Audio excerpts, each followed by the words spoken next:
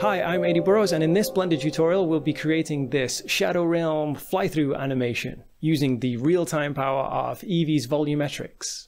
This is part of the bigger update to our Nebula course. Actually, I think there's another nearly two hours of extra video and project files in addition to this uh, shadow section even. And if you have the course already, then many thanks for jumping on board with us on it. You can find more info on Blender Market and Gumroad if you wish. Alright, so to follow along, you will need this blend file with the super noise, Everything's explained and explored in detail in the full course, obviously, but for today, in this simple example, just grab the file and have some fun with the pre-designed volume shader. So here we've got our super noise shader rendered inside a cube, which kind of resembles a nebula, and should be visible as soon as we enter rendered mode. If you have a look at it in the solid shading mode though, you'll see that all we have is just this cube, the light inside, and the camera. To no surprise, we should use Eevee I went with Eevee Legacy in 4.1 as it's basically the stable version.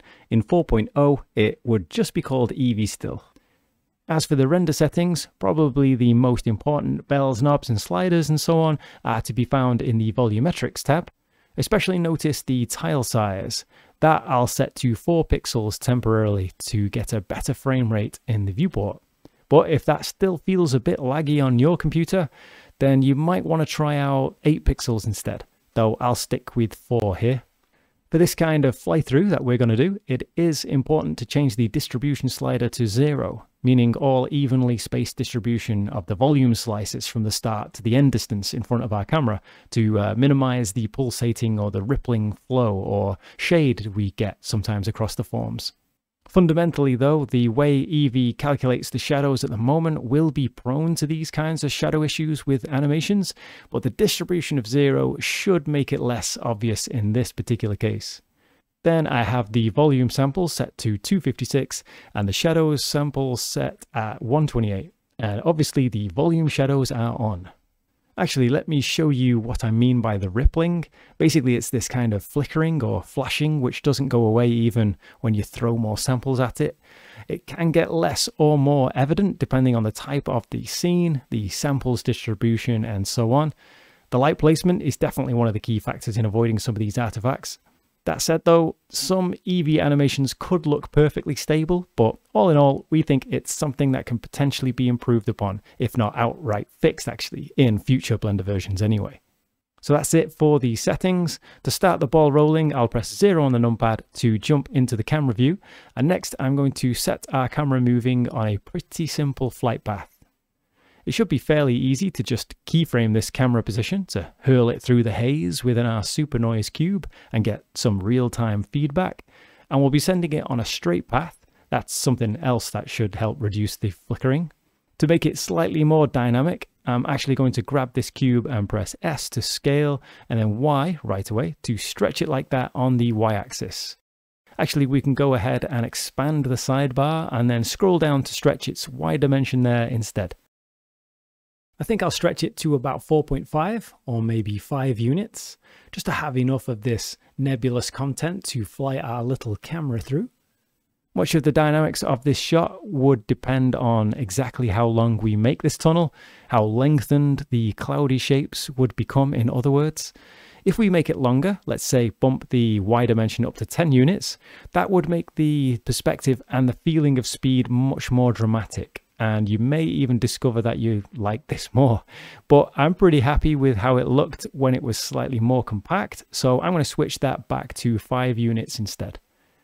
What we need to do next is just select our camera, place it somewhere closer to one end, to about there, and while we're still at frame 1, we can go right click and go insert keyframe, and that would place a new keyframe at exactly frame 1.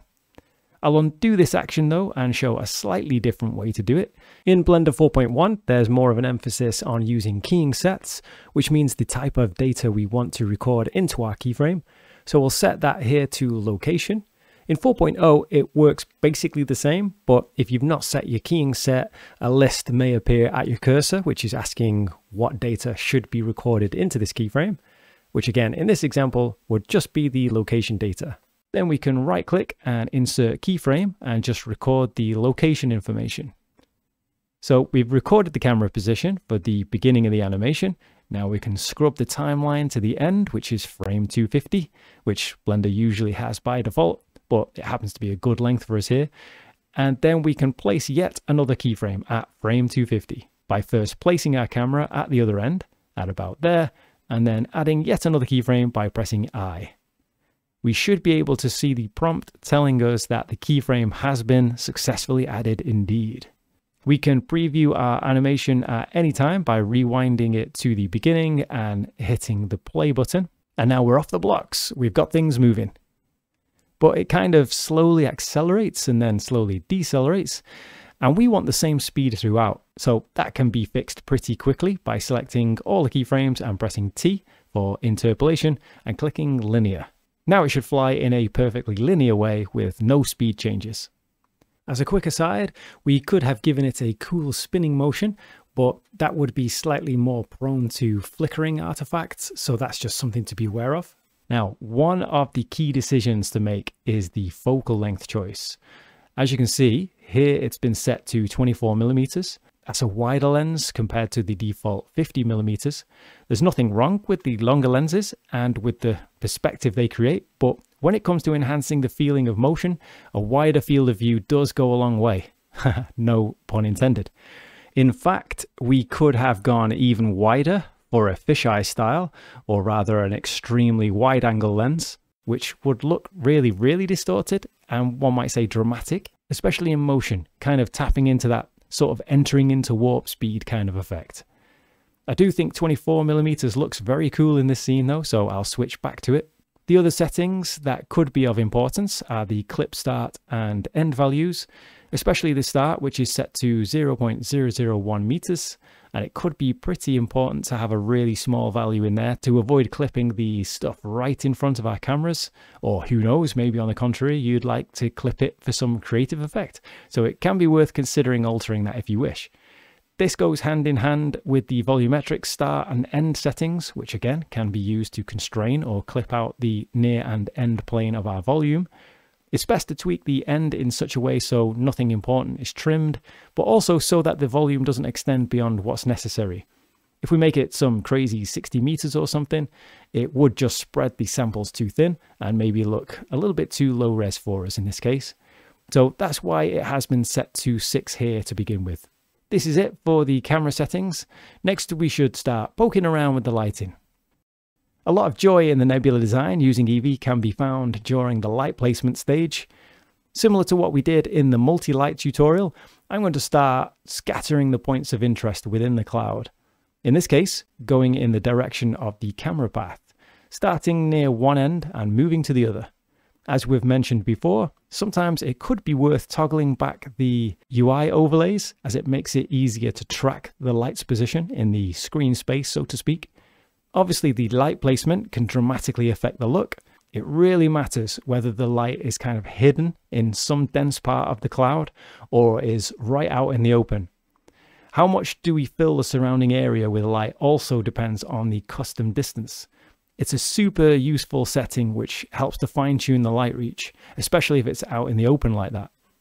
The important thing is to choose whether we want to shove it into the cloud, creating this kind of subsurface scattering effect, or actually place it a little bit behind the cloud, creating this, uh, we could call it a reverse key lighting type of situation. Essentially backlighting a part of the nebula, helping to pick out some nice contrasting tones and shapes. The power can serve to limit the reach as well and prevent it from filling in too much of the detail because if we skim through really quickly, this light spill can reach really far and make some areas look a bit, well, front lit, which isn't a crime, but if you want to find these interesting shapes and tones, you may want to use the custom distance to trim it a bit so that the influence of the light committing compositional crimes uh, falls off a little bit quicker.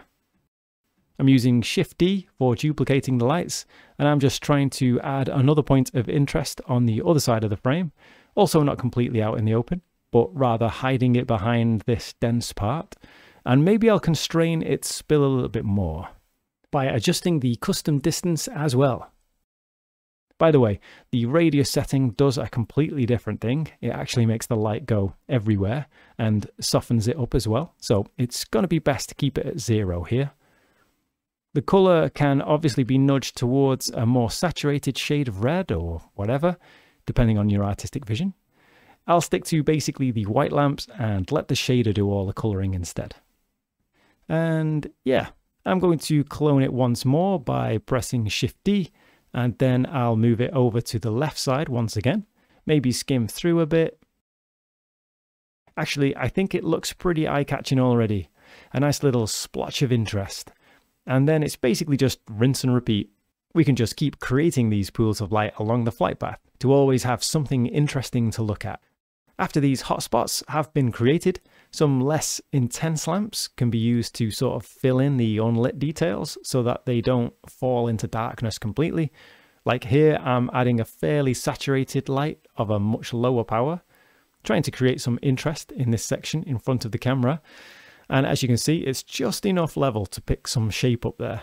I think it should look pretty solid, this whole idea of placing the lamps along the way, uh, when we render the animation out later on then it should also be possible to turn the process completely upside down and actually change the noise pattern after setting up lighting. Not that we'd recommend it, but it can be done like that, especially if you aren't really satisfied with the camera's path. In that case, the cloud pattern can be adjusted in the shader editor while having the volume cube selected, naturally. Most likely, it would be just a matter of tweaking the mapping coordinates, like applying some extra rotation to maybe get an unobstructed line of view for the uh, the camera dolly or just get a different shape to art direct it a little bit. Or of course the location changes can also help alter the look of the whole thing quite dramatically in fact. And that's the beauty of procedural noises. We won't go there but tweaking the super noise specifically could offer some crazy looking results too. And that is something that we focus on in the cycles part of the course if you're interested in learning volume shaders and a whole load of procedural tricks, then we of course recommend the full Nebula series. Anyways, the finishing touches to make before we hit the render button is to add that extra spice with some post-processing effects. I'll open the compositor, click Use Nodes right away, and then press Home to get all the nodes into view. Now, adding some form of glow is a staple of 3D space art, and we've never tried to sing too far off key from that particular hymn sheet anyway. So first, actually, let's turn the viewport compositing on in this menu and switch it over to camera to get it working in our viewport. So then I'll just go Shift A and drop in the glare effect and get it auto connected. By default, it shows this kind of star-shaped pattern where the threshold controls how bright the pixel has to be to trigger the glow. I'll set it to 1 for the time being, and then actually, let me show you something cool. In this blend file, you'll also find the folder called stars. I'm going to make it visible, and actually it's nothing more than a quick starfield particle system, about which we'll talk in much more detail in yet another upcoming Nebula course update, and that one's all about 3D star fields. For now though, let's just point out that it's based on the free version of the dust particles asset that can also be downloaded from Blender Market and Gumroad. So getting back to our scene, the glare effect is especially useful when it comes to the bright objects such as stars. As you can see, without it, it's just the plain circles, even though they have some built-in edge softness to be fair. And the way to actually sell this effect is to make them shine to get that starry night vibe. Well, maybe not as intense like that. And it's probably worth starting with a simple fog glow and then add streaking. I'll shift D this node to copy it out and switch its type to simple star. To tone it down, I'll reduce the fade all the way down, as well as reducing the iterations to 2. And then as it's still way too hot, I'll go ahead and bring the mix factor all the way down to negative 0.9 to get just a little bit of streaking. Finally, I'll throw some lens distortion into the mix, or as it's sometimes called, chromatic aberration. This effect can look really cheesy if overused, but we'll be lactose intolerant here and keep the cheese to a minimum. So we'll take our lens distortion node and set the strength of this by pulling it down way away from zero even further. I'm sure you'll agree it has that kind of entering into a warp speed kind of effect. And then on top of this effect, we have a little bit of dispersion, which is giving us this nice color splitting on the edges, as well as also contributing a little bit to that warp fly through kind of a feel. By the way, if you want to tweak the look of the stars, like for example to change their brightness to trigger a different amount of glare, all the controls can be found within the modifiers panel under the wrench or spanner icon after selecting the dust particles object. There's a lot of things that can be tweaked to achieve the look you want. The emit strength, for example, if we bring that down to 10 or just to 1, it'll make the glare much less dramatic, and that is definitely something worth experimenting with. I'll go with 20 though, as I quite like the effect it creates.